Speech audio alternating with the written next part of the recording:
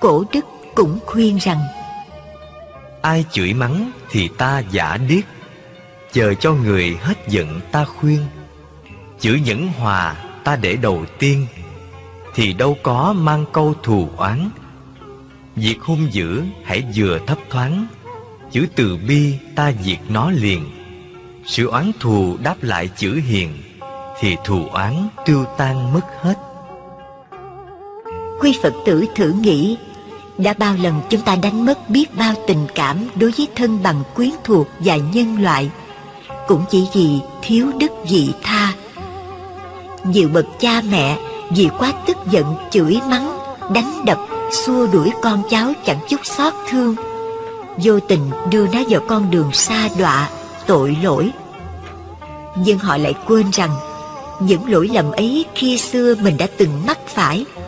Vậy ta nên từ bi hỷ xả, chỉ dạy cho nó thấy được lỗi lầm sửa đổi.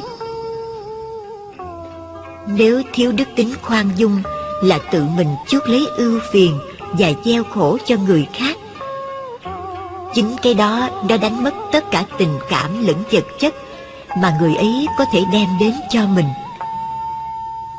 Bởi thế, từ gia đình cho đến xã hội, ta phải tha thứ thương yêu đùm bọc dìu dắt lẫn nhau. Đồng tiến bước trên con đường đạo đức. Đạo pháp thường hay dung giới hòa xét người cho tột xét thân ta. Nếu người rõ phận vui lòng thứ Ta thứ được người, người thứ ta. Cổ đức. Nhưng thử nghĩ Trên thế gian này có mấy ai được vậy? Quý vị đi đám tang thường thấy những bà vợ gục đầu bên quan tài ông chồng khóc than Kể lễ bằng những câu rất thảm thiết Nếu ngược lại Người nằm trong hòm là bà vợ Thì ông chồng buồn bã than tiếc bằng những lời ưu ái bi ai thật cảm động. Cho đến con cái và thân bằng quyến thuộc cũng vậy. Khi còn sống bên nhau, suốt đời họ chỉ đem toàn là những lời cay nghiệt, độc địa, thô bỉ, bạo tàn, sát phạt nhau. Đợi cho đến khi họ chết rồi mới ăn năn hối hận, khóc kể, tán dương, ca ngợi, nào có ích gì. Thực sự mà nói, những dòng nước mắt và lời nói đó đều là giả dối, vô nghĩa. Mình tự khóc kể rồi mình tự nghe, chứ đối với người đã chết thì không còn ý nghĩa gì nữa. Trong tận cùng tâm tư của con người, ai cũng thích dịu dàng, mơn trớn khi được người tán dương ca tụng. Tại sao? Chúng ta không đem những ân tình lời nói tốt lành dành cho nhau trong lúc còn sống. Họ ưa thích biết bao nhiêu.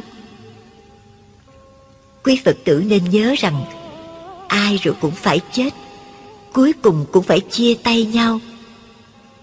Cho nên các thiền sư thường khuyên chúng ta, hãy dán chữ tử trước mắt để ý thức rằng mình và những người chung quanh không biết chết lúc nào.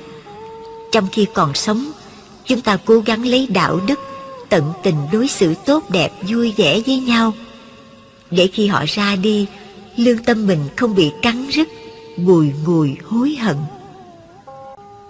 Trên đời, có một số người quen thói ăn nói thô lỗ, sổ sàng lại cố chấp cho đó là đúng thật chẳng tốt đẹp gì khi ta buông ra những lời thô tục khó nghe trước mọi người người lịch sự khi nói năng phải giữ lời, giữ ý, không hấp tấp, vội vàng, không vừa nói vừa cười, không nóng nảy.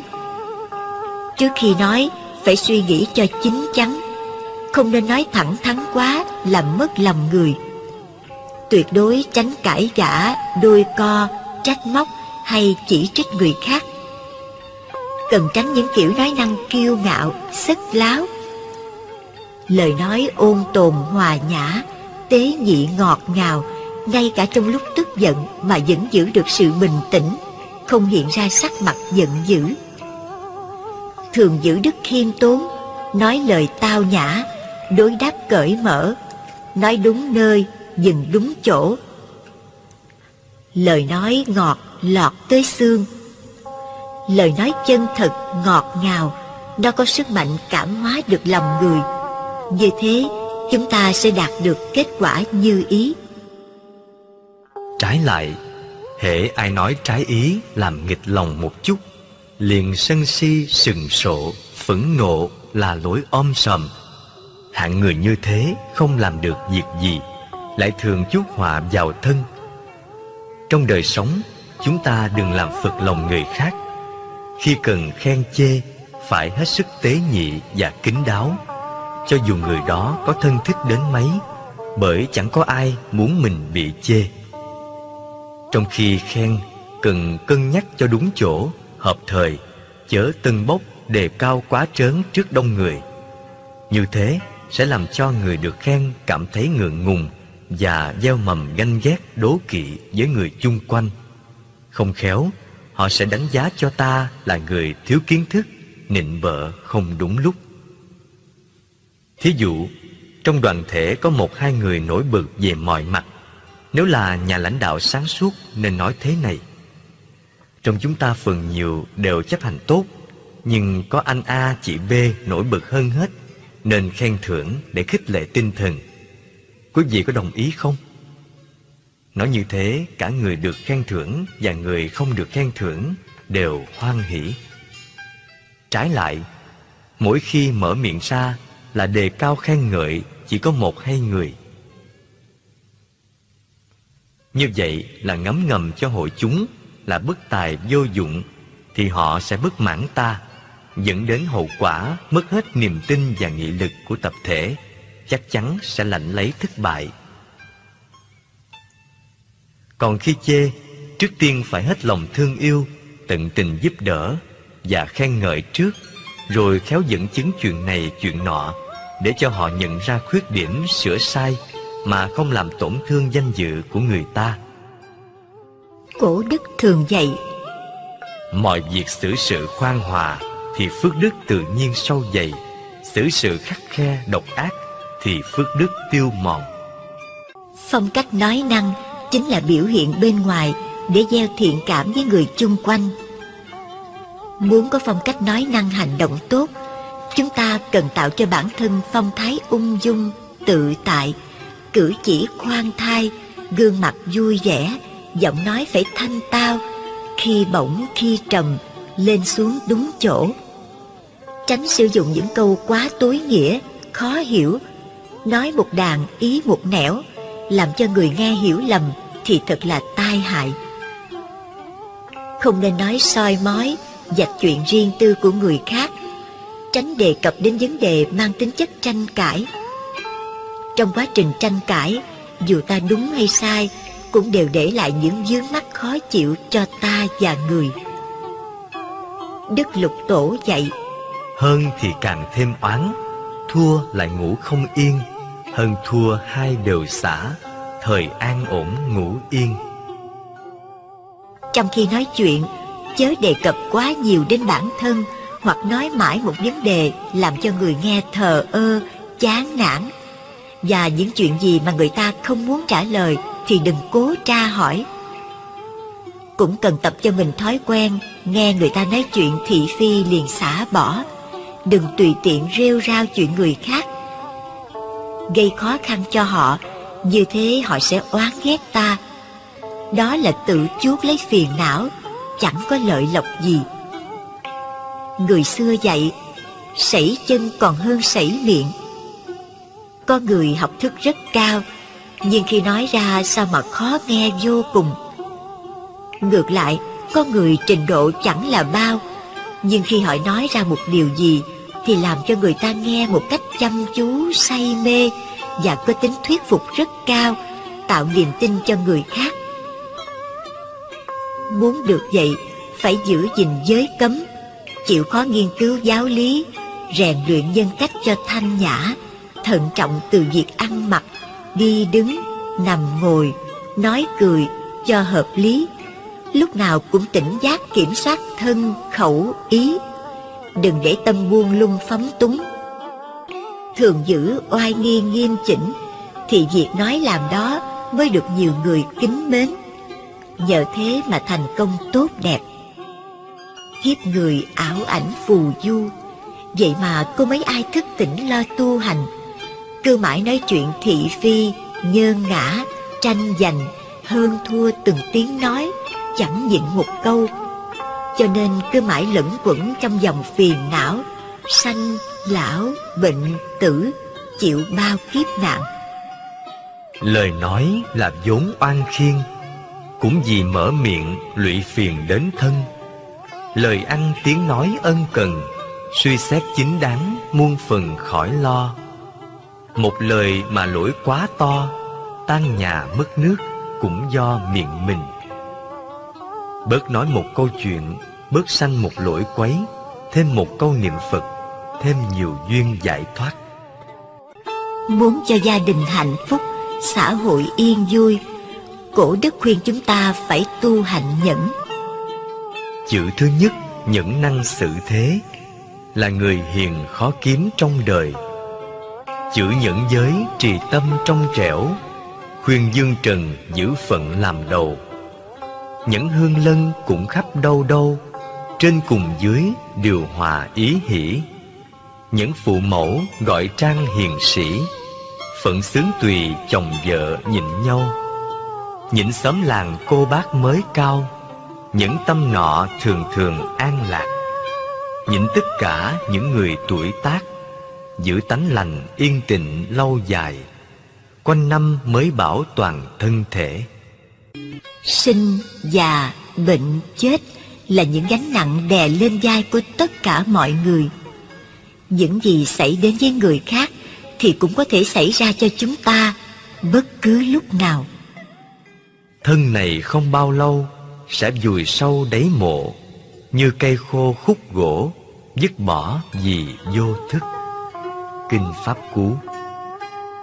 Qua lời phật dạy cho chúng ta thấy thân tứ đại này quả thực là mỏng manh tạm bợ nếu chúng ta không biết sử dụng năng lực của tuổi trẻ để thực hiện những điều chân chính thì không mấy chốc tuổi già đến ta sẽ hối tiếc cuộc sống rất vô thường cái khổ của sinh, lão, bệnh, tử luôn luôn rình rập ta.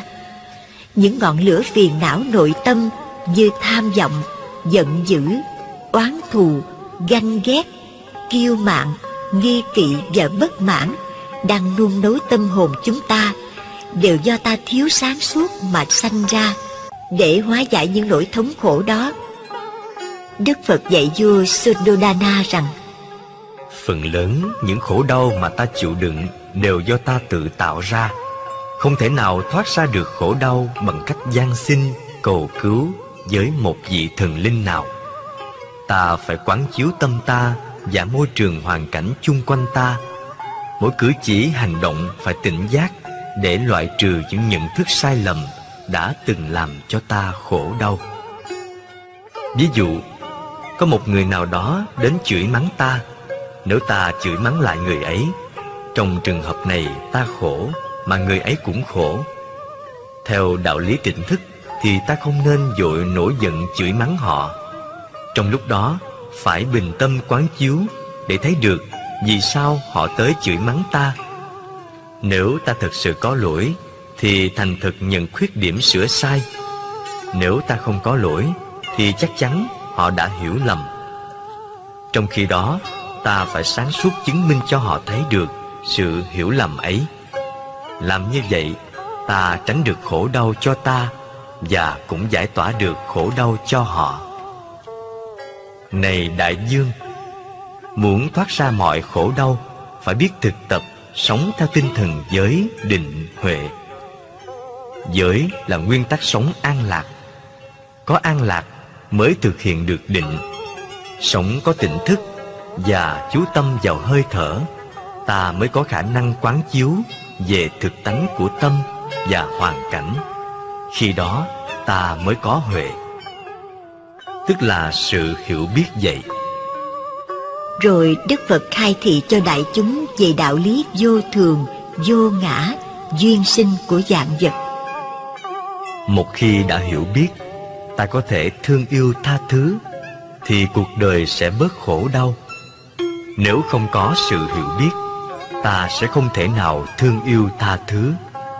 Cho nên con đường giải thoát chân thực là phải có trí huệ để diệt trừ vô minh, thì ta sẽ được an lạc giải thoát niết bàn.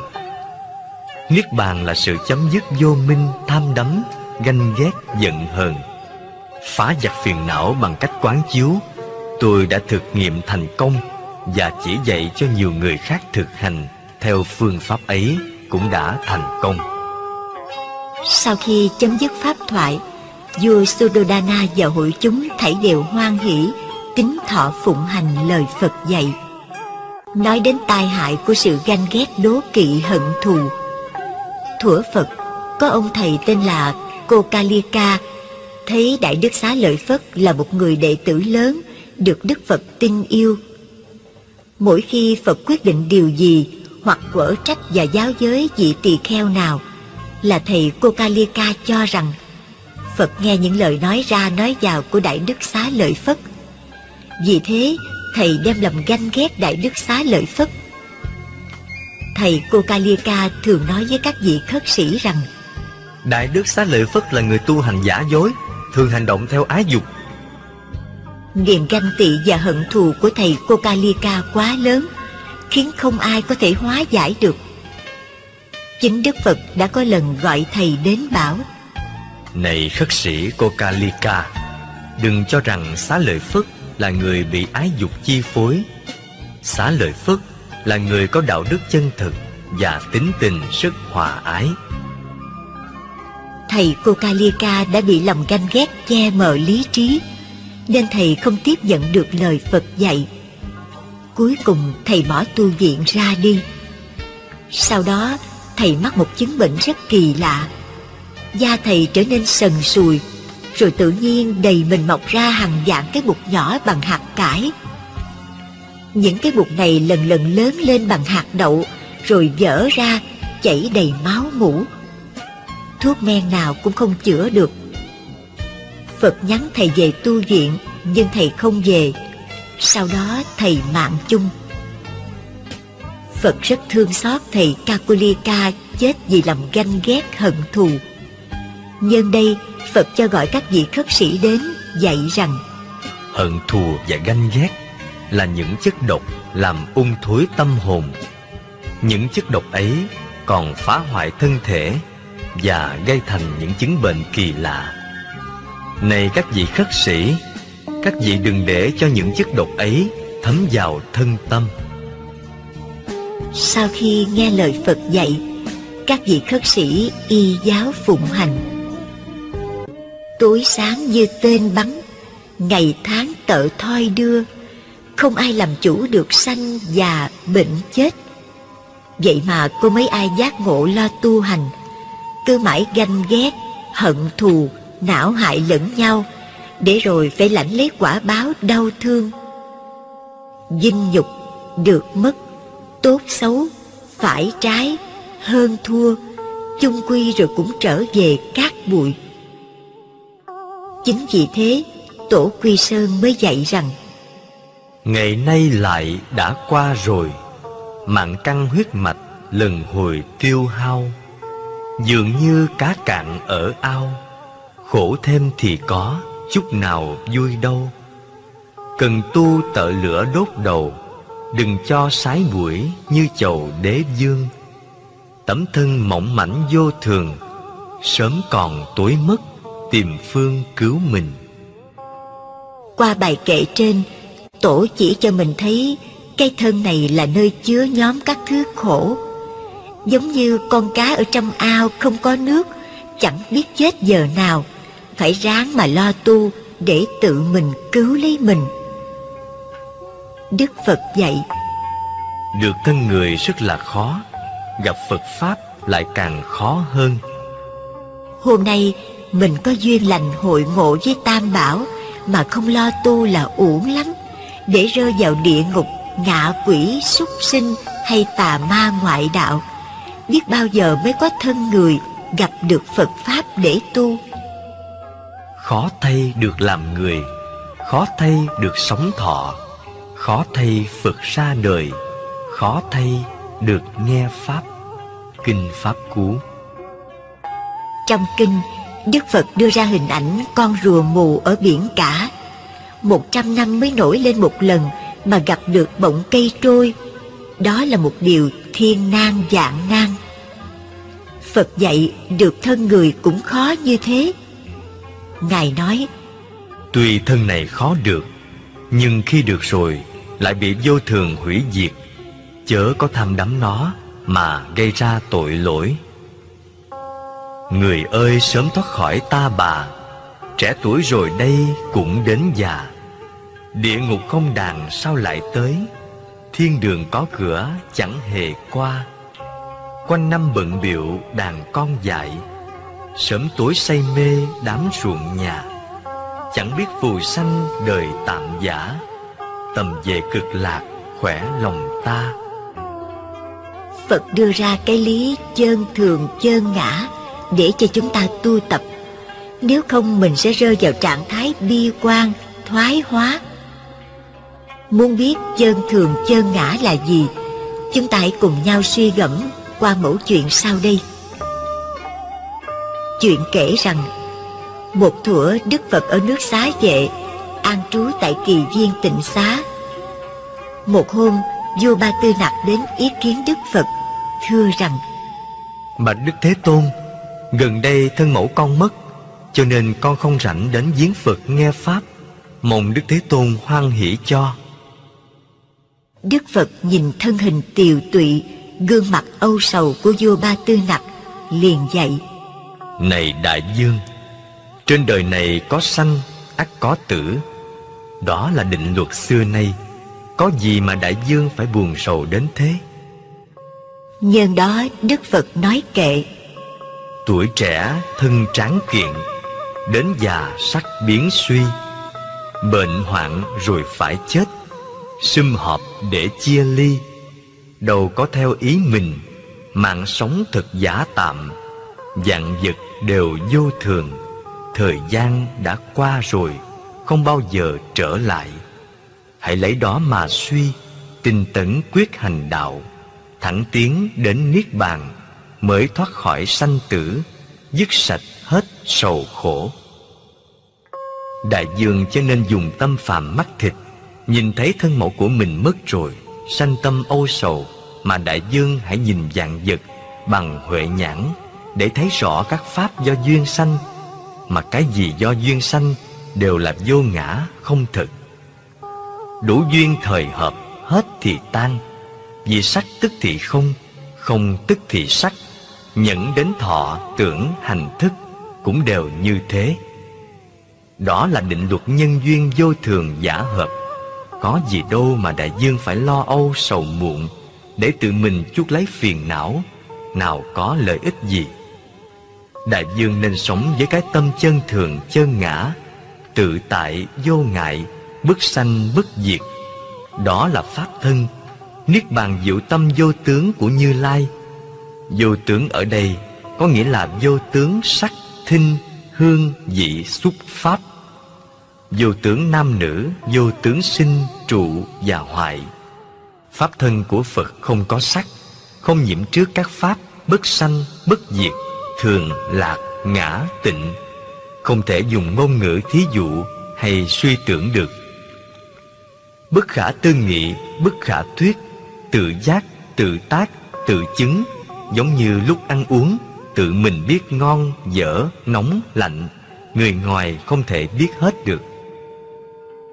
Vua Ba Tư Nặc nghe Phật thuyết Pháp Tâm thần tỏ ngộ Dứt hết phiền não cúi đầu đảnh lễ Phật Y giáo phụng hành. Chuyện trên cho chúng ta thấy Sự đau khổ của chúng ta Không phải do tính chất vô thường của thân thể Mà chính là do sự chấp thủ, tham ái là nguyên nhân gây ra buồn phiền, khổ não, sanh, lão, bệnh, tử, luyến ái người và của cải. Nó có thể làm cho ta điên loạn. Thuở Phật còn tại thế, gia đình của bà Patakaha chỉ trong một thời gian ngắn mà cha mẹ chồng con đều chết hết bà quá đau khổ trước thảm cảnh người thân và của cải đều mất tất cả khủng hoảng tinh thần đến nỗi mất trí thân thể lõa lồ mà chạy như điên trên đường phố cho đến khi gặp Đức Phật. Ngài dạy: Này Batakaha, cái chết là một hiện tượng tự nhiên. Rồi đây ta cũng chết, bà cũng chết. Tất cả mọi người không ai tránh khỏi. Các pháp là vô thường, khổ không, vô ngã, ân ái như giấc mộng, gặp gỡ rồi chia ly. Trong những kiếp trước, bà đã từng đau khổ khóc than vì cái chết của người thân, nước mắt kia còn nhiều hơn biển cả. Nhân đây Đức Phật nói kệ Người đắm chìm trong ái, vọng tưởng miên man hoài, và chết mãi dần xoay, do ái sâu không đáy, người trí thấy rõ ái, ngục kiên cố khó ra, nên giới dục tránh xa, dứt ái được an ổn. Đức Phật thấy bà nhận chân được Ái là nhân sanh ra khổ Sự chết là lẽ đương nhiên. Ngài giảng giải thêm về tứ diệu đế. Đây là khổ Nguyên nhân của sự khổ. Đây là diệt khổ Và con đường dẫn đến chấm dứt khổ. Này Batakaha Có bốn sự thật mà người tu phải công nhận. Sự thật thứ nhất Sinh, già, bệnh, chết là khổ. Buồn, giận, ghen tức, lo lắng, sợ hãi và thất vọng là khổ. Chia cách người thân yêu là khổ. Chung đụng với người ghét bỏ là khổ. Tham đắm và kẹt vào năm uẩn là khổ. Này Batakaha Sự thật thứ hai Nguyên nhân của khổ đau vì mê muội cho nên không thấy và không hiểu được sự thật về bản thân và cuộc đời. Vì thế, con người bị những ngọn lửa của tham đắm, giận hờn, ghen tức, sầu não, lo lắng, sợ hãi và thất vọng, đêm ngày đốt cháy và hành hạ. Này Batakaha, sự thật thứ ba, sự chấm dứt khổ đau, đó là trí huệ, là sự hiểu biết, nhận thức được sự thật về bản thân và cuộc đời là khổ, không vô thường và vô ngã. Thấy được như thế sẽ chấm dứt hết mọi sầu đau đem lại cho ta niềm an lạc. Này patakaha sự thật thứ tư con đường diệt khổ. Đó là con đường bát chánh đạo. Nhận thức chân chánh tư duy chân chánh ngôn ngữ chân chánh hành động chân chánh sinh kế chân chánh chuyên cần chân chánh niệm lực chân chánh và định lực chân chánh. Này Patakaha, sao gọi là chánh đạo? Vì con đường này không phải là con đường trốn tránh đau khổ, mà là con đường đối diện trực tiếp với khổ đau để diệt trừ khổ đau. Con đường bát chánh này là con đường của sự sống tỉnh thức. Vì vậy, chánh niệm là khởi điểm. Có chánh niệm thì sẽ có chánh định nghĩa là định lực có tác dụng phát sinh trí huệ. Nhờ có niệm lực và định lực chân chánh thì nhận thức, tư duy, ngôn từ, hành động, sinh kế và sự chuyên cần cũng sẽ đi vào chánh đạo. Khi trí huệ đã phát sinh sẽ giải thoát tất cả mọi ràng buộc khổ đau, đem lại cho ta nguồn an lạc chân chính. Sau khi chấm dứt pháp thoại, bà Patakaha giác ngộ biết rõ mạng sống vô thường chồng con của cải như khách bà thành tâm đảnh lễ tính thọ phụng hành lời phật dạy. Những người quá lo âu sầu thảm tuyệt vọng vì bệnh tật người thân mất bị giật tiền của làm ăn phá sản tình phụ thần kinh thác loạn các bác sĩ tâm thần khuyên rằng phải cho người bệnh hoạt động ở ngoài trời như đánh banh, chơi cầu, chụp hình, làm giường, tập thể dục hoặc là một chút công việc gì đó thì bệnh tình sẽ giảm đi. Làm việc là thứ thuốc an thần rất hữu hiệu, giúp bệnh nhân được an tĩnh, quên bớt những cảnh đau buồn. Những biện pháp trên chỉ mang tính tạm thời. Muốn dứt hết những nỗi thống khổ, chúng ta phải học hạnh của các thiền sư. Khi gặp chướng duyên ách nạn quý ngài ngồi thiền định Nhiếp tâm vào hơi thở Quán chiếu lý vô thường Nhân quả Chấp nhận nghịch cảnh Nên nội tâm được an lạc. Điển hình như chuyện Ngài An Thế Cao Là một cao tăng đắc đạo Biết rõ nghiệp duyên của mình.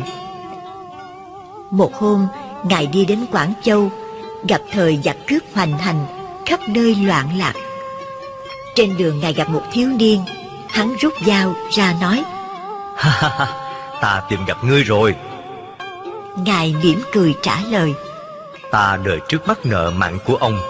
Vì vậy khi gặp ta Ông liền nổi sân muốn giết. Để trả món nợ đó Nên ta từ xa đến đây đền mạng.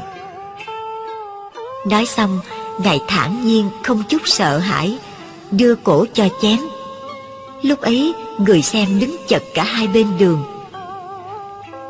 Chuyện trên cho chúng ta thấy, Sở dĩ Ngài An Thế Cao hoan hỷ cho người thiếu niên giết Là vì Ngài hiểu rõ luật nhân quả Và xác thân ngũ uẩn giả hợp không thật, Nên Ngài ung dung tự tại trước cái chết.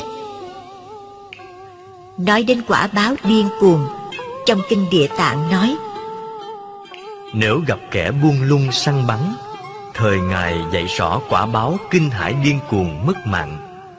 Nếu gặp kẻ đốt phá núi rừng Thời Ngài dạy rõ quả báo cuồng mê đến chết.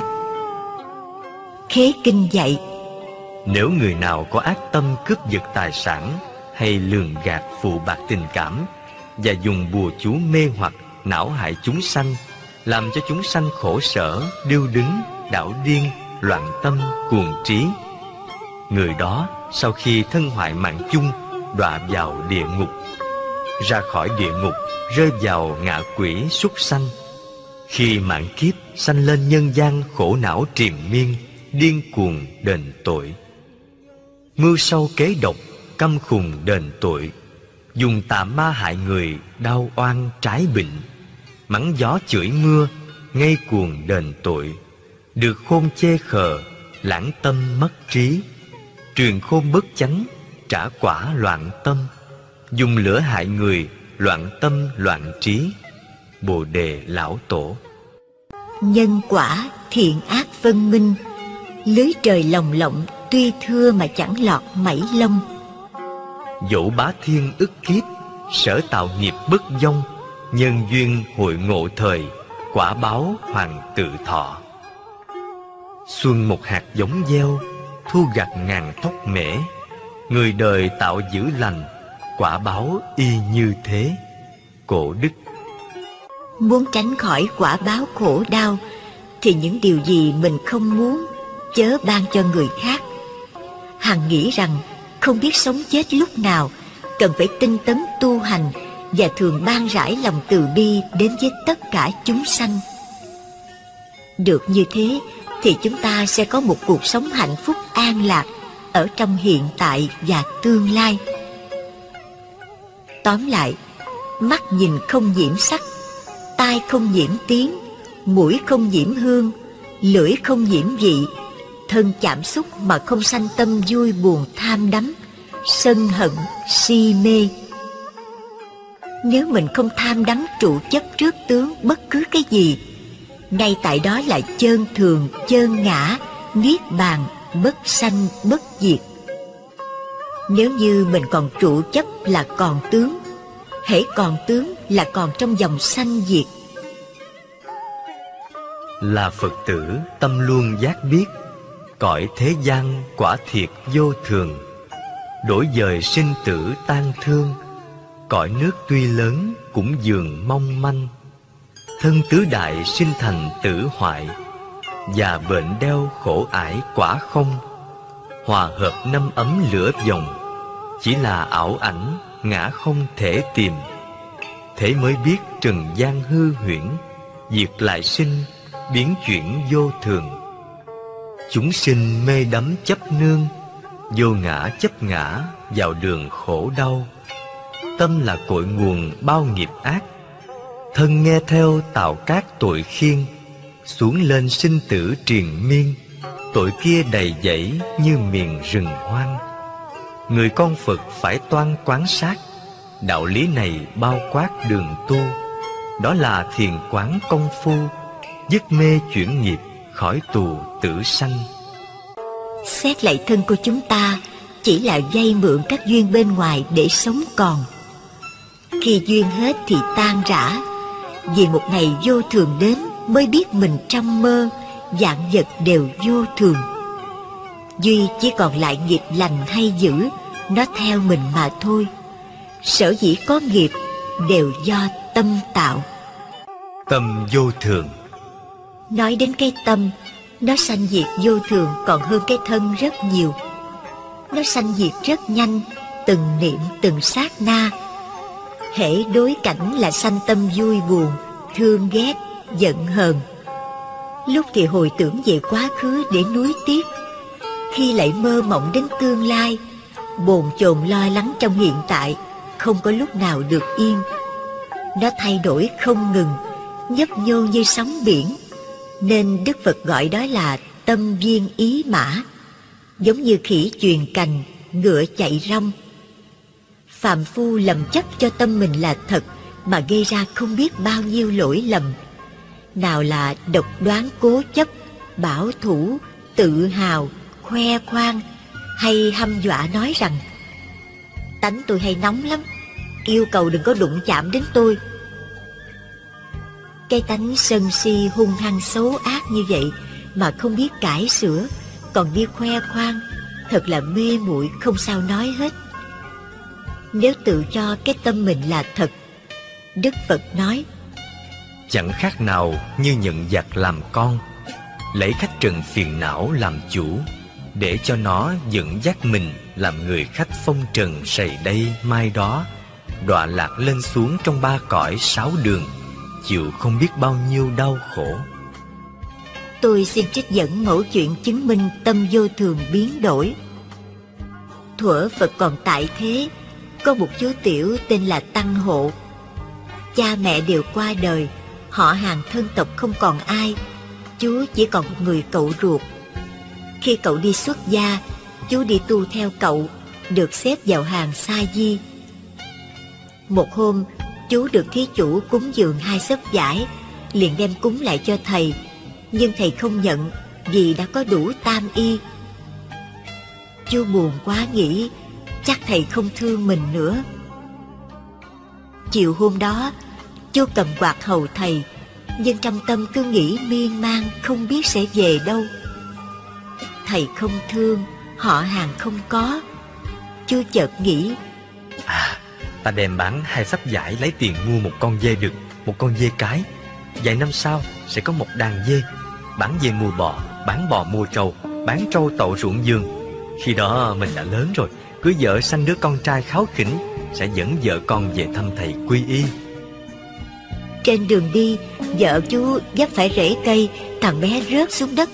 Chú nổi giận Quơ cành cây gõ lên đầu vợ. Đồ hư! Vừa lúc đó Thầy chú mở mắt ra nói Người gõ lên đầu vợ không trúng Lại trúng cái đầu trọc của ta.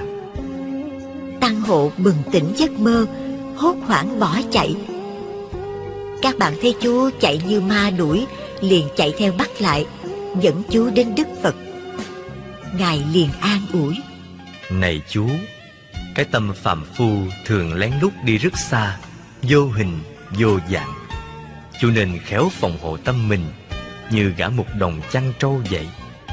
Được nghe lời dạy của Phật Tăng hộ ở lại tu viện tu hành Đến ngày chứng quả A-la-hán lại một hôm khác Vào buổi sáng Phật cùng chư Tăng đi khất thực Trong khi cầm bát đi khất thực sau lưng Phật La Hầu La đánh mất chánh niệm. Chú nhìn Phật đi phía trước rồi tự nghĩ, nếu Phật không đi tu, sẽ trở thành một vị chuyển luân thánh vương. Còn mình thì đang làm gì? Tri óc vẫn dơ nghĩ như thế, hơi thở và dáng đi của chú không còn an trú trong oai nghi nữa. Phật biết chú mất chánh niệm, Ngài dừng bước và quay lại bảo Này La Hầu La, còn có theo dõi hơi thở và duy trì chánh niệm không? La Hầu La im lặng. Phật dạy: Này La Hầu La, trong khi đi khất thực, còn phải an trú trong chánh niệm, bằng cách duy trì hơi thở, có ý thức và thực tập thiền quán về tính cách vô thường và vô ngã của muôn loài. Những yếu tố đó là sắc thân, cảm thọ, tri giác, tâm ý và nhận thức thì con có thể thiền quán ngay trong khi khất thực. Như thế, còn không rơi vào tình trạng thức niệm. Phật dạy La Hầu La về phương pháp thở. Tác dụng đầu tiên của hơi thở là phải có ý thức để chấm dứt tạp niệm, phát khởi chánh niệm. Mỗi khi thở vào, ta biết rằng ta đang thở vào. Mỗi khi thở ra, ta biết rằng ta đang thở ra. Thở vào một hơi dài, ta biết ta thở vào một hơi dài. Thở ra một hơi ngắn, ta biết ta thở ra một hơi ngắn. Đó là hơi thở có ý thức. Trong lúc thở như thế, ta chỉ để tâm nơi hơi thở mà thôi. Làm được như vậy thì lập tức chấm dứt ngay được những suy nghĩ diễn dông đã không có lợi ích mà còn làm cho tâm ta loạn động. Một khi những tạp niệm được cắt đứt thì tâm ta an trú trong chánh niệm. Ta biết ta đang thở trong tỉnh thức, không bị tạp niệm bao vây và dẫn dắt.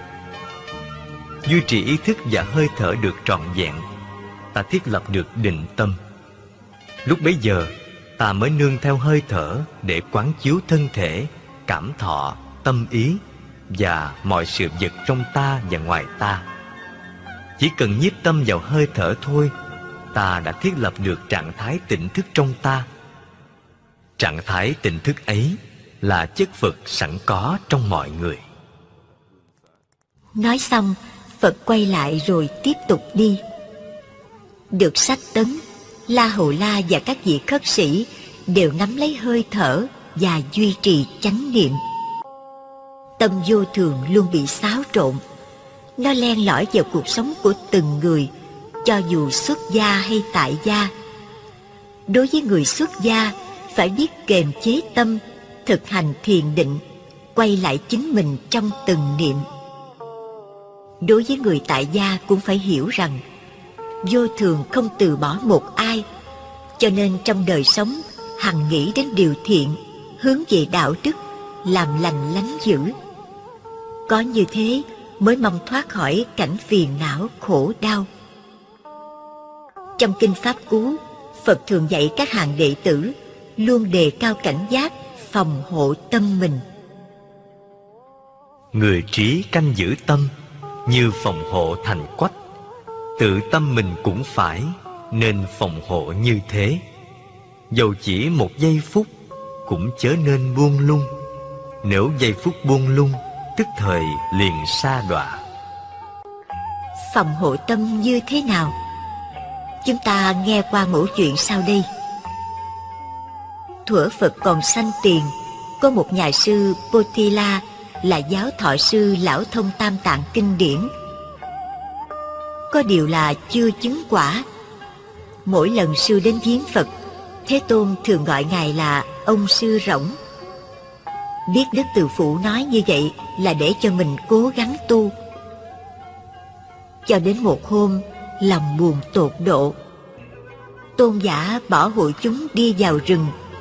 Đi mãi cuối cùng gặp 30 vị A-la-hán, vốn là học trò cũ của sư. Tôn giả Potila đến đảnh lễ vị thủ tòa, xin ngài hoan hỷ chỉ cho cách tu. làm sao tôi dám làm điều đó khi trước kia ngài là vị giáo thọ? Tôn giả bị đẩy xuống vị nhị tòa cũng bị từ chối. Cuối cùng tôn giả đến trước vị a la hán nhỏ tuổi nhất mới lên bảy gian ngài một cách khẩn thiết. Ô làm sao tôi dám làm điều đó khi tuổi tác và sở học của tôi kém ngài rất xa e rằng ngài có tin nổi hay không? Bạch đại đức lòng con tha thiết khẩn cầu mong ngài từ bi chỉ giáo. A la hướng trẻ tuổi ôm tồn bảo này tôn giả lúc còn tại gia ngài có chơi đá dế không? Dạ thưa biết ạ. À. ồ tốt lắm. Giả sử có một cái hộp vuông chứa đầy dế có sáu cửa cửa nào cũng hé ra hết Thì các chú dế sẽ thò râu Hoặc chân tay ra ngoài các ngõ ấy, Có phải thế không?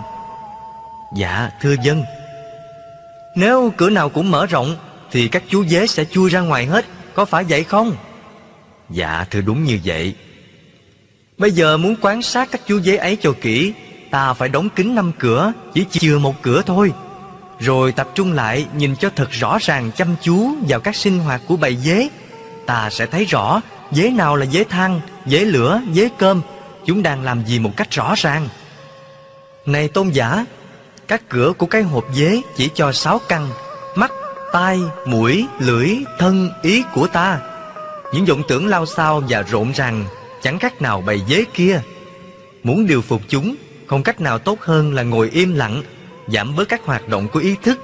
Bình thản nhìn một cách rõ ràng chăm chú Quan sát những vọng niệm của mình Không xen vào những ước muốn Lấy, bỏ, loại trừ. Bạch Đại Đức Con đã hiểu rồi. Tôn giả Potila từ giả 30 vị A-la hướng Tìm một nơi yên tĩnh tọa thiền.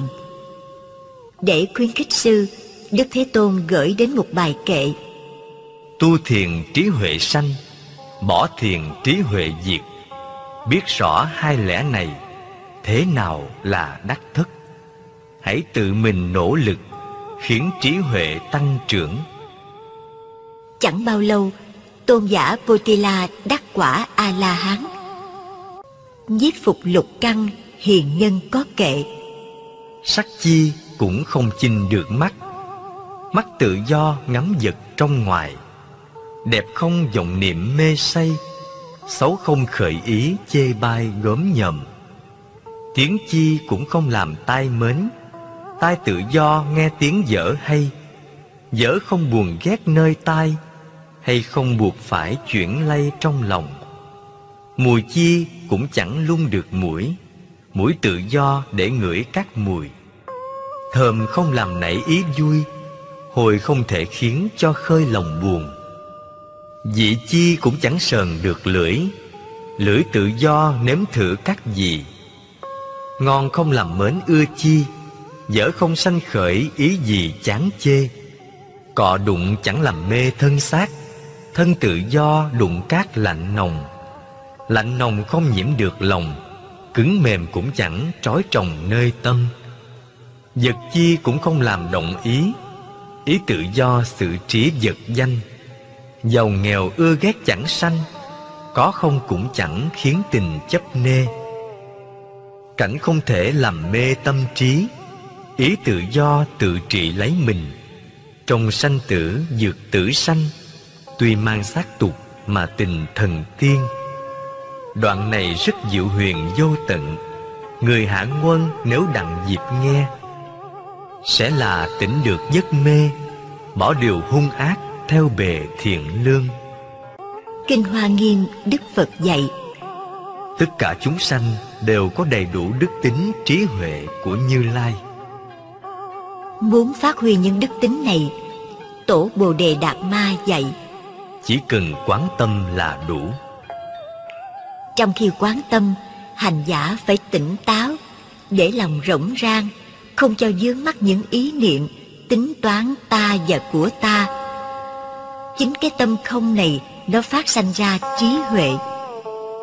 Khi đó, tình thương yêu của ta ban rải khắp muôn loài dạng vật.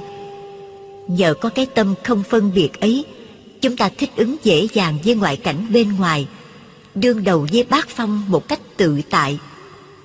Vẫn thấy, nghe, hiểu biết rõ ràng, nhưng không còn dấu vết của tình chấp. Bát phong là tám ngọn gió lay động lòng người, làm thương tổn thiện căn trong khi tu hành. Một, lợi là tiền tài lợi dưỡng. Hai, suy là nỗi đau khổ khi tiền tài lợi dưỡng bị hao tổn. Ba, hủy bị người nói xấu, hủy mắng.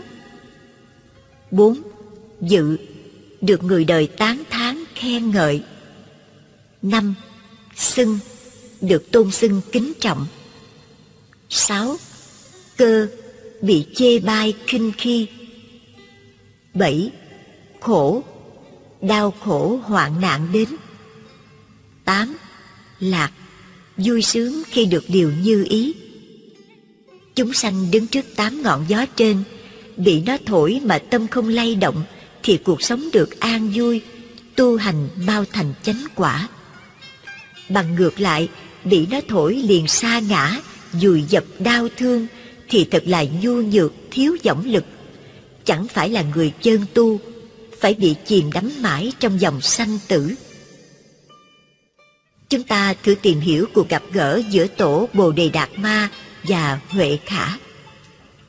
Huệ khả thưa bạch tổ sư tâm con bất an xin ngài dạy con phương pháp an tâm. Tổ sư bảo đưa tâm đây cho ta xem. Huệ khả lúng túng nói con tìm mãi không ra. Tổ đáp vậy là ta đã an tâm cho người rồi đó. Sở dĩ huệ khả tìm tâm không ra vì tâm không có hình tướng. Chẳng qua là chấp cho nó là có rồi chạy đuổi theo trần cảnh làm cho tâm ngài bất an. Khi xưa tổ huệ năng nghe được bài kệ ưng vô sở trụ, nhi sanh kỳ tâm. Ngài liền giác ngộ. Vô trụ ở đây là xa lìa bốn tướng, ngã nhân chúng sanh, thọ giả. Trong kinh kim cang, phật nói bốn tướng. Một, ngã tướng tướng của mình. Hai nhân tướng tướng của người khác. Ba, chúng sanh tướng là chỉ cho tất cả chúng sanh hữu tình và vô tình. Bốn, thọ giả tướng, chấp thọ mạng dài hoặc ngắn. Phạm phu lầm chấp tướng trạng hư giả cho là thật, nên mãi đắm chìm trong bể khổ trầm luân. Kinh đại bát nhã dạy, bồ tát trong khi hành đạo, quán sát thấy rõ ngũ uẩn đều không thực, nên các ngài tự tại vượt qua mọi khổ ách ngũ uẩn gồm có một sắc uẩn, là chỉ chung mọi thứ vật chất như là ngũ căn, mắt, tai, mũi, lưỡi, thân. Ngũ trần, sắc, thinh, hương, vị, xúc. Tứ đại, đất, nước, gió, lửa. Hai, thọ uẩn, là những cảm thọ vui sướng, buồn khổ, trơn nhám cứng mềm và không khổ không lạc. Đó là những cảm thọ khi tâm đối với cảnh. Ba tưởng uẩn. Đối cảnh nhận ra sự đen trắng nhỏ to dài ngắn.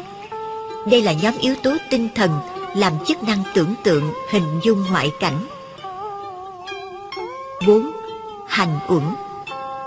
Đối cảnh đem lòng ham muốn hoặc thương ghét, vui buồn của tâm đối với cảnh do nhân duyên tạo tác các pháp hữu vi trôi chảy trong ba đời.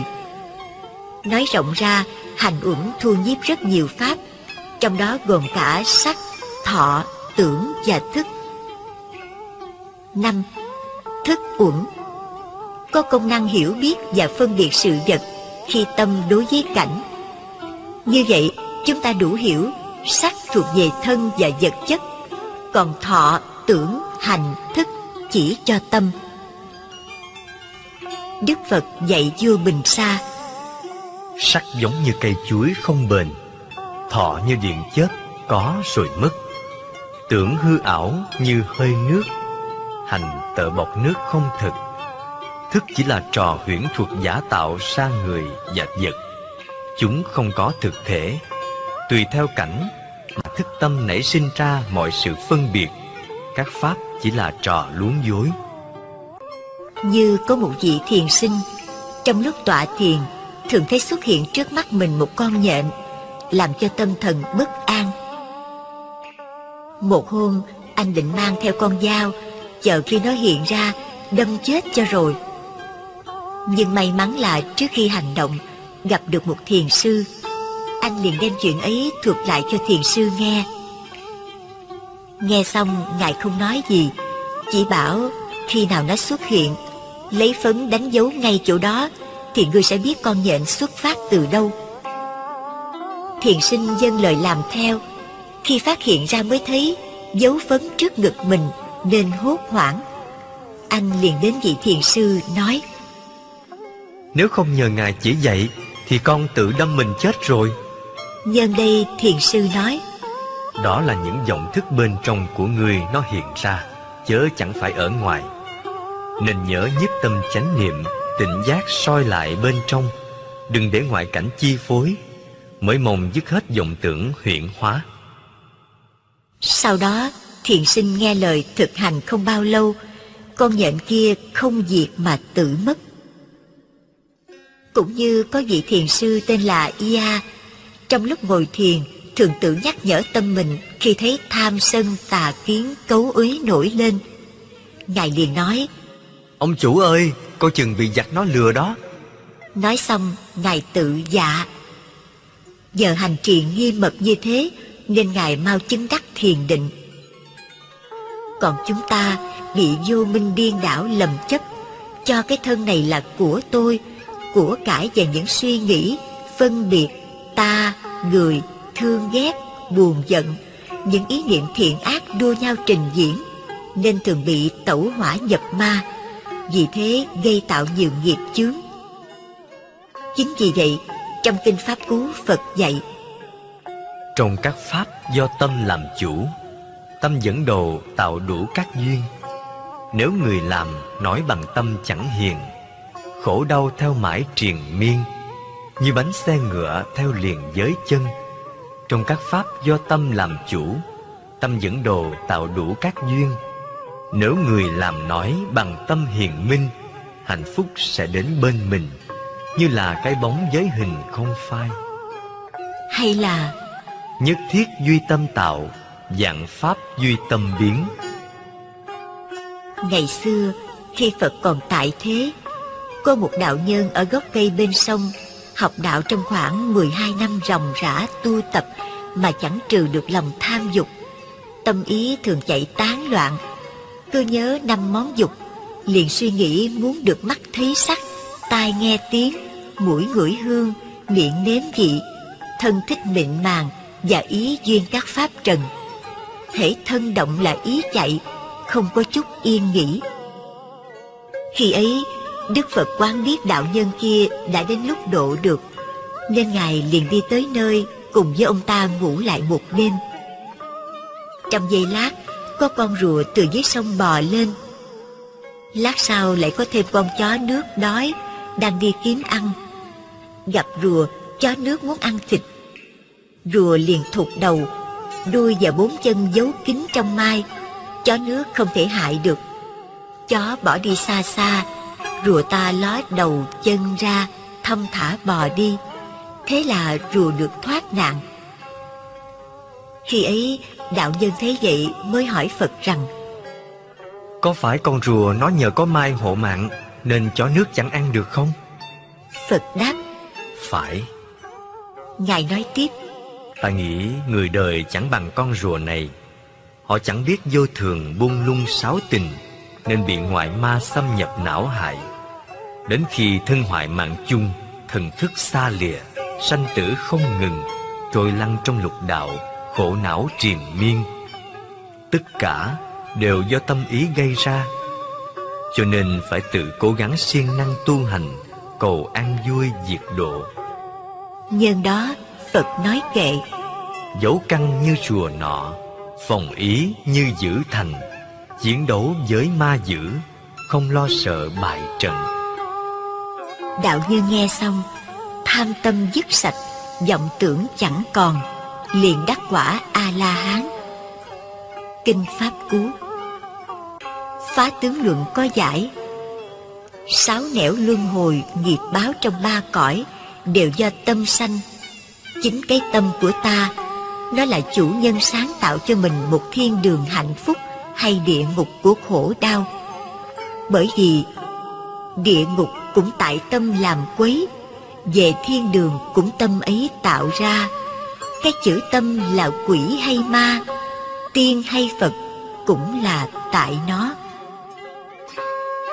Ma ma Phật Phật cũng do ta Ma Phật khác nhau chỗ chánh tà. Giác Phật mê là ma đó vậy Chân như là Phật, giọng là ma Thật vậy, Nếu tâm tham sân quỷ ma nổi lên mà mình không ngăn chặn được, sanh tâm trộm cắp, đánh đập, giết hại người ta, ngay lúc đó mình bị cảnh tù tội tức khắc. Tới chừng đó mới ăn năn thì đã quá muộn. Do đó trong kinh Đức Phật dạy Nơi nào có phòng hộ tỉnh giác Thì nơi đó an lạc Nơi nào không phòng hộ tỉnh giác Là nơi đó khổ đau Thí dụ Trong gia đình vợ chồng, anh em, con cháu Đang nói chuyện vui vẻ Không khéo phòng hộ Nó lạc qua đề tài đấu tranh Phiền não hồi nào mình không hay đưa đến tranh cãi, chửi rủa, mắng nhiếc, đánh đập lẫn nhau, làm cho gia đình đổ vỡ, ly tán. Tới khi tỉnh ngộ thì không còn kịp nữa. Cho nên Đức Phật dạy chúng ta lúc nào cũng phải đề cao cảnh giác. Nếu đang nói chuyện mà không hài hòa, có thể xảy ra xung đột, thì mình phải dừng lại ngay.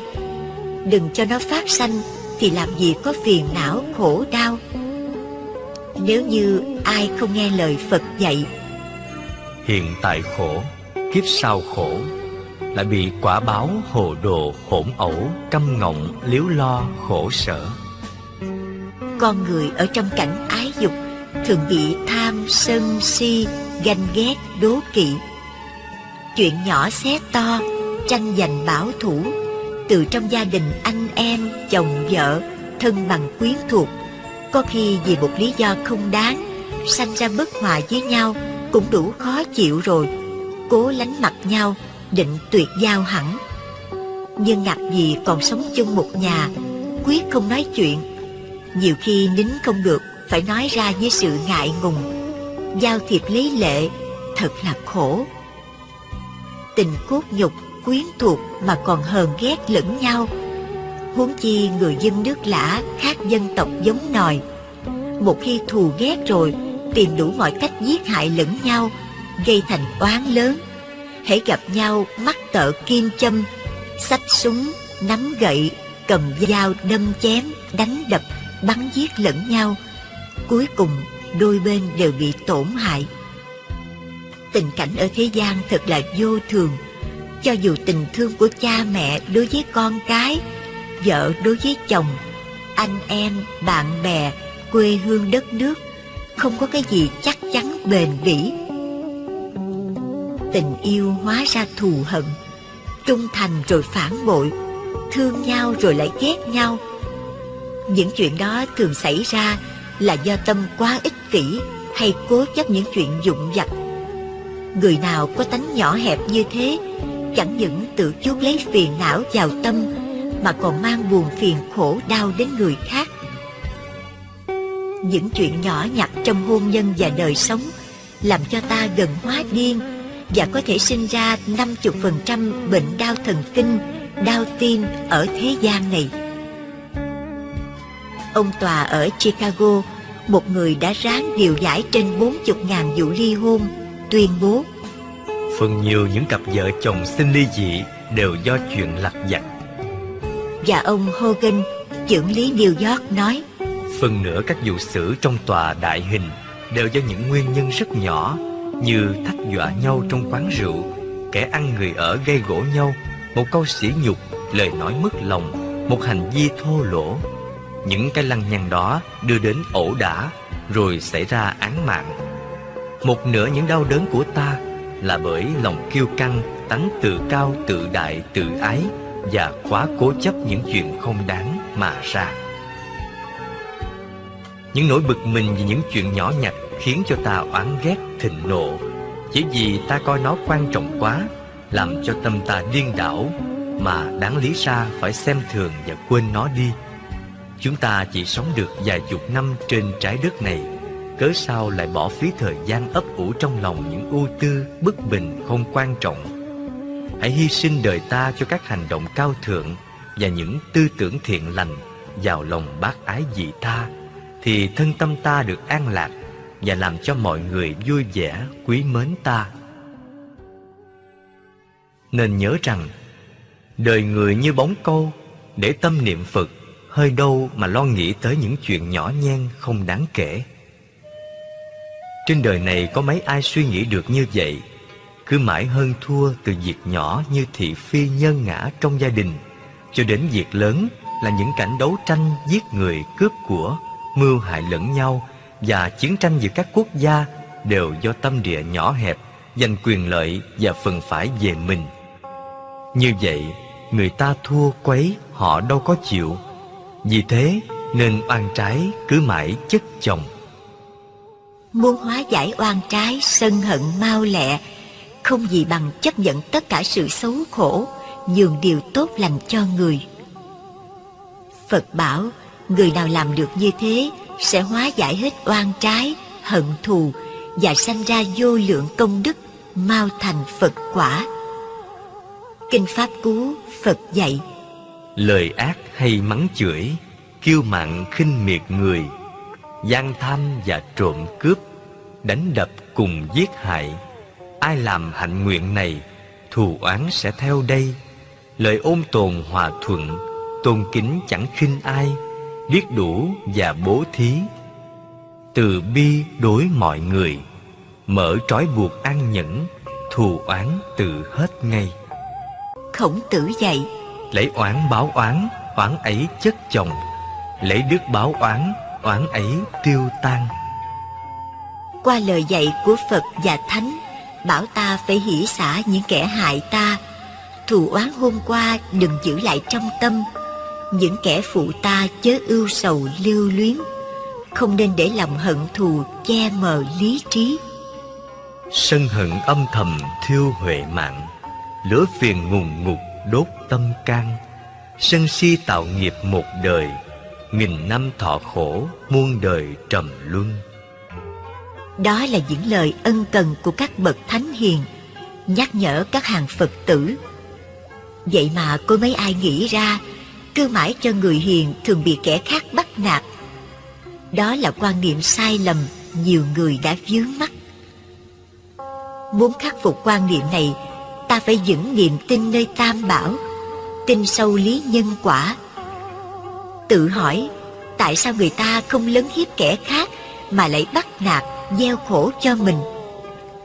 Khi đó nên nhớ lời Phật dạy, Cố gắng nhẫn nhục, Coi như kiếp trước mình gieo khổ cho họ, Bây giờ bị người ta làm khổ lại. Hoặc xem họ như người bệnh Hay kẻ điên, Im lặng chấp nhận. Khi đó, đối phương tự nhiên cảm thấy cục hứng Cuối cùng đành bỏ cuộc.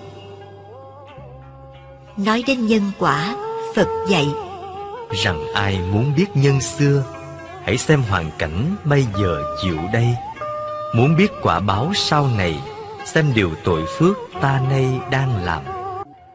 Nếu như ai không tin Ra oai, hung dữ Làm cho người xung quanh ngán sợ Kết quả chỉ thêm thù, kết oán Mọi người kinh tởm xa lắm đó là nguyên nhân làm mất hết sự kính trọng Thông cảm, giúp đỡ của các thành viên trong gia đình. Khi đó ta mất hết chỗ đứng Và làm xấu đi sự tương giao ngoài xã hội. Tha ngôi quả bất thiện chưa trả lại dây thêm. Thật ra tranh cãi hành hung đều là biểu hiện tánh giả mang và lạc hậu mà người thông minh có đạo đức không bao giờ hành động như thế. Nên nhớ trong lúc nóng giận buồn phiền không nên nói năng hay hành động điều gì hết. Nếu nói làm phần nhiều nó chỉ đưa đến thiệt hại cho mình và người.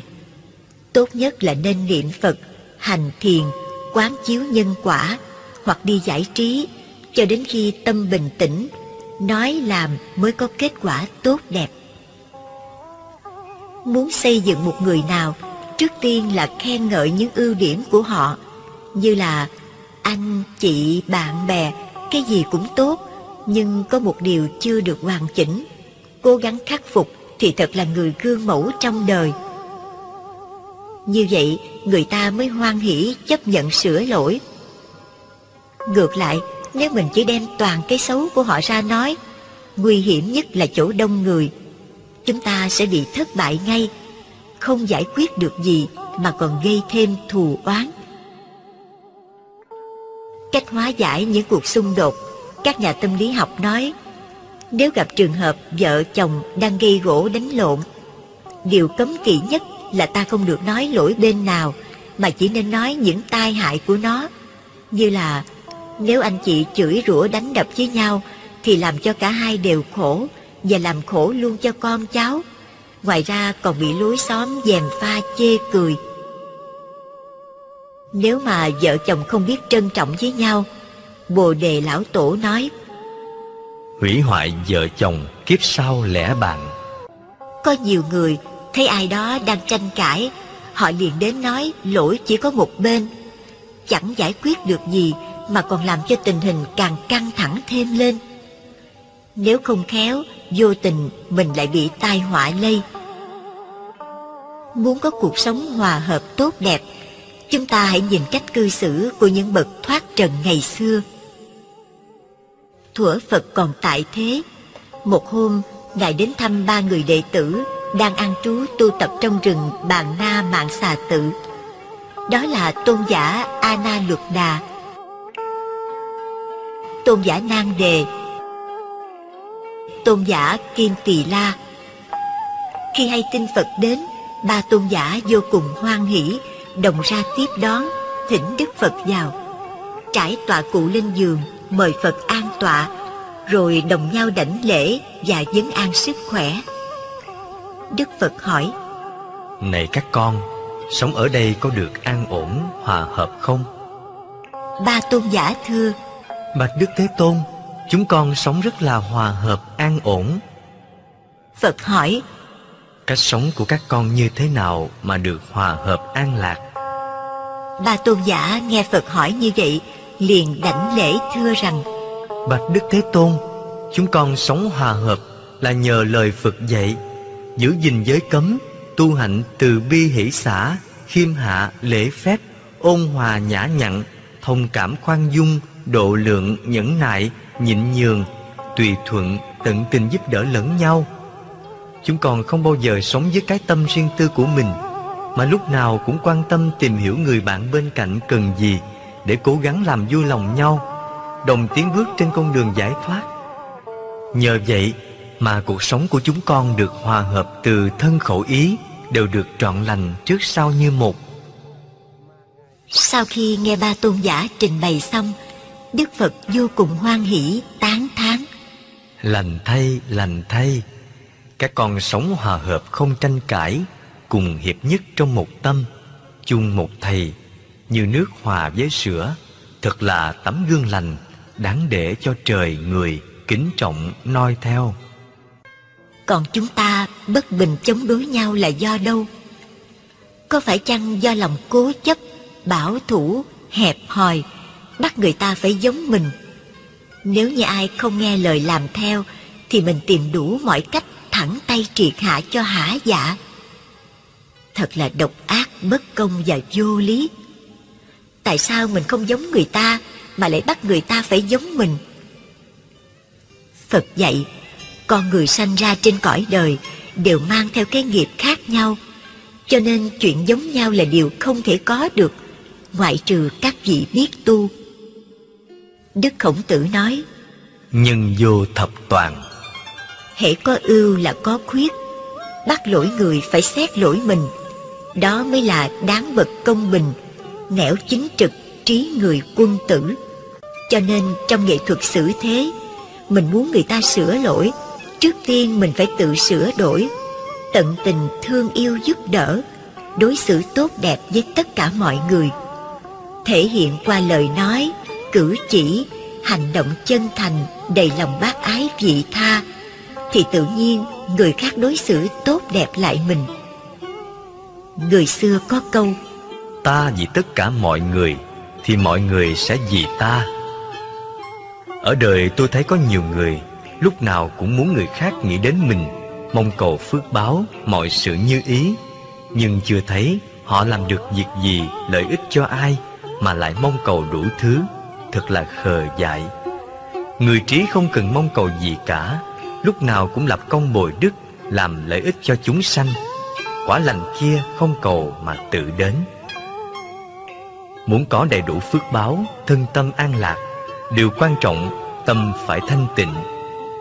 Trong kinh A Hàm, Đức Phật đưa ra 11 phương pháp tu tập để cho tâm được thanh tịnh, giải thoát. Một, tự mình là thiện tri thức, thân cận, gần gũi thiện hữu tri thức để học hỏi những điều hay, lẽ phải. Người xưa bảo, gần mực thì đen, gần đèn thì sáng. Thật vậy, gần người ác, tâm mình trở nên hung ác. Thí dụ, như mình hiền hòa mà chơi với những người bạn hung hăng, lỗ mãn, mỗi khi họ nói ra là chửi thề in ỏi, nói trên đầu trên cổ. Nếu nhịn hoài cảm thấy thua lỗ nên chửi lại cho Huệ. Ngay lúc đó mình đã hóa ra người hung dữ. Hơn nữa, gần người ác, tánh hung dữ của họ làm cho mình khổ và dẫn dắt ta đi vào con đường xa đọa tội lỗi. Ngoại trừ bậc thượng căn đại trí, gần người ác mới không bị ô nhiễm. Còn gần người thiện lành, học hỏi được những điều hay lẽ phải và nhờ đức tánh thiện lành, từ tốn của họ làm cho tâm mình được an lạc. Gần người thiện thì giống như vào nhà hoa thơm cỏ lạ, lâu ngày thân mình cũng thơm như vậy. Gần kẻ bất thiện thì giống như vào tiệm cá ương, lâu ngày mình cũng hóa ra hôi như vậy. Chớ thân với bạn chớ thân kẻ tiểu nhân, hãy thân người bạn lành, hãy thân bậc thượng nhân. Kinh Pháp Cú hai Phải giữ gìn giới cấm, thô nhiếp oai nghi, phòng hộ các căn, dẫu cho thấy một lỗi nhỏ cũng canh cánh lo sợ. Nếu muốn cho tâm mình được thanh tịnh, điều quan trọng nhất là phải giữ giới. Vì nhân giới mới sanh ra định, nhân định tâm được thanh tịnh. Nếu không giữ giới thì tâm sẽ loạn động, không bao giờ thanh tịnh. Ngoài ra, mình còn phải thâu nhiếp lục căn khi tiếp xúc với lục trần, đừng để cho nó dính mắt, dù một lỗi nhỏ cũng không nên vi phạm. ba Điều thiện chưa sanh thì làm cho nó sanh Điều thiện đã sanh Làm cho nó tăng trưởng Điều ác chưa sanh Thì đừng cho nó sanh Điều ác đã sanh rồi Thì phải đoạn trừ. Nghĩa là Ác nhỏ không nên làm Thiện nhỏ đừng nên bỏ. Chúng ta chớ xem thường cái ác nhỏ Vì nhiều cái ác nhỏ thành ra cái ác lớn Còn nhiều cái thiện nhỏ thành ra cái thiện lớn. Trong khế kinh Phật dạy Đừng khinh thường ác nhỏ cho là không tội lỗi. Giọt nước tuy ít chứa dồn đầy thùng. Tội ác lớn cũng do chứa ác nhỏ mà thành. Cũng chớ xem thường chút thiện nhỏ cho là không có phước. Một giọt nước tuy ít chứa lâu đầy lu. Phước đức lớn cũng nhờ chứa nhiều phước nhỏ mà thành. Người làm việc thiện thì sẽ có phước dư thừa, Giống như cỏ vườn mùa xuân, không thấy lớn lên nhưng ngày càng tăng nhiều. Người làm việc ác thì sẽ có tai họa dư thừa như đá mài dao không thấy hao mòn nhưng ngày càng khuyết hụt thánh đế 4. Không nên tụ tập bàn nói những điều nhảm nhí vô ích phi pháp. Mỗi khi nói ra, phải như pháp mà nói. Lúc nào cũng phải ca ngợi tán thán hạnh kiểu dục tri túc, nói về giới định huệ, giải thoát, tri kiến Sở dĩ con người bị phiền não khổ đau là do thị phi. Đa phần phụ nữ thường nói chuyện thị phi Người này tốt, kẻ kia xấu Người này đáng thương, người nọ đáng ghét. Nói chuyện ngoài đời chưa đủ Nói chuyện trong chùa. Ông thầy này tu hay Ông sư kia tu dở. Nhưng xin thưa với quý vị Người ta đang tu Nên vẫn bị nghiệp chi phối cho nên có cái làm được có cái chưa làm được. Mình đừng vì thế mà sanh tâm hủy bán Lập mè kết đảng Chống đối thư kiện lẫn nhau Vô tình làm cho ngoại đạo chê cười. Cho nên Đức Phật nói Sư tử trùng thực sư tử nhục. Nghĩa là con sư tử không có con vật nào ăn nó được Mà chính con di trùng trong thân của nó mới giết được nó. Cũng vậy Đức Phật nói Đạo của ta Tà ma ngoại đạo không thể phá hại được Mà chính trong hàng tứ chúng Tỳ kheo, tỳ kheo ni Thiện nam và tín nữ Tự hủy diệt giáo pháp của ta. Sở dĩ mình tốt là tại vì nghiệp nó chưa tới. Chứ khi nó đã tới rồi Mình còn hơn người ta nữa. Cho nên người xưa nói Ai hay nói lỗi người khác Thường bị mắc quả báo. Ai ơi, chớ dội cười nhau. Cười người hôm trước, Hôm sau người cười. Ca dao. Lòng từ Đức Phật thương hết tất cả chúng sinh. Cho dù người đó có giữ giới hay phá giới, Thiện hay ác, Vì con đường đó ngày xưa Ngài đã từng đi qua. Những ai còn chướng mắt, Đó là những chúng sanh đáng thương, Chứ không đáng ghét. Mình nói xấu người khác Người ta không mất gì Chính mình mất cái tâm thanh tịnh. Hơn nữa đến tai người ta Lại sanh ra oán thù Đôi chối, hơn thua, sát phạt với nhau. Nào có ích gì? Nếu người tu không khéo Vẫn bị như thường. Còn người nam ở không Thì tụ tập kết bè đảng Uống rượu, cờ bạc. Hễ rượu vào là lời ra Câu mâu, quạo quọ. Đấm đá lẫn nhau. Cho nên Thánh Hiền nói Nhàn cư di bất thiện là vậy. Nếu như ai cũng nghe lời Phật dạy Giữ gìn khẩu nghiệp cho được thanh tịnh Gặp ai mình cũng khuyên nhắc lẫn nhau Cố gắng giữ giới. Vì giới là hàng rào ngăn chặn các điều ác Đồng thời cũng là chiếc áo giáp thần hộ mệnh Làm cho thân tâm mình được thanh tịnh, an lạc. Nếu lúc nào cũng đem chuyện đạo đức ra nói hết, Thì làm gì có phiền não khổ đau? Trong Kinh Pháp Cú, Phật từng dạy, Phàm người sống ở đời, Miệng lưỡi chính gươm đau Chửi rủa mắng nhiếc nhau Là cầm đau tự hại, Không bàn luận thị phi, Suốt đời được an vui. Năm, quán thân bất tịnh. Quán 36 thể trượt từ đầu đến chân Đầy dẫy sự bất tịnh Nào là mồ hôi, nước mắt nước mũi, giải, răng, ghèn, ráy, máu, mũ, thịt, da, gân, xương, tim, gan, phèo, phổi, phẫn, tiểu, hay là quán thân bầm tím, sình chương, đứt nẻ hôi thối, rùi đậu kiến bu, dòi rút rỉa. Nhờ quán như thế mà tâm được thanh tịnh, xa lìa tham dục và ái nhiễm. Quý vị nên lưu ý, trong khi quán bất tịnh, lấy mình làm đề mục để quán. Ví dụ, mình đang nhiễm sắc mà đem một cô mỹ nữ ra quán, vô tình làm tâm động thêm. 6. Quán tâm vô thường Cái tâm nó luôn luôn sanh diệt vô thường, biến ảo không dừng, do nhân duyên hợp lại, nên có con mắt, có cảnh để thấy vậy thôi. Tâm không ở trong, không ở giữa, không ở ngoài. Nếu đủ duyên thì hợp lại thấy biết còn hết duyên là tan rã. Cũng như cái hột quẹt có được lửa là do các duyên hợp lại.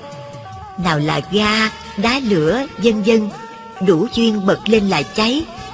Thả tay hết duyên liền tắt không thể chỉ nó ở đâu được tâm cũng như vậy tạm gọi là tâm chơn tâm vọng mà thôi Tâm chân là thấy biết tất cả mà không tham đắm trụ chấp.